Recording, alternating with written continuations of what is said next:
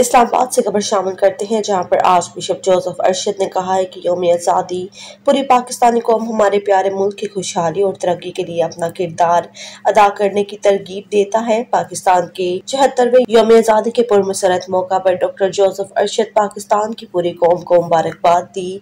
उन्होंने कहा है कि इस दिन हमें अपने इसलाफ की कुर्बानियों को भी याद रखना चाहिए, जिन्होंने आज़ादी के लिए अपना खून बहाया। उन्होंने कहा है कि आज पाकिस्तान के छिहत्तरवे योम आज़ादी को मनाने के लिए लोगों के दिल और रूही मोहब्बत, अमन और दुआओं के जज्बात से लबरेज है।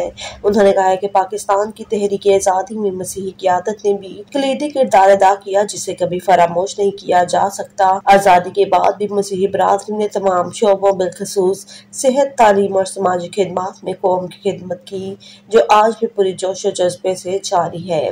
डॉक्टर जोसेफ अरशद ने कहा है कि इस मुश्किल वक्त में जब हमारा मुल्क मुख्तलिफ़ चैलेंजेस से गुजर रहा है, हम सबको मिलकर पाकिस्तान को एक खुशहाल और मिसाल मुल्क बनाना चाहिए। आखिर में उन्होंने दुआ की कि खुदावन हमारे मुल्क पर अपनी रहमत नाजिल फरमाए और हमें पाकिस्तान की तरक्की और खुशहाली के लिए मुतहद होकर काम करने का जज्बा अता फरमाए, ताकि सब एक कौम बनकर मोहब्बत, अमन और हम आहंगी से रह सकें।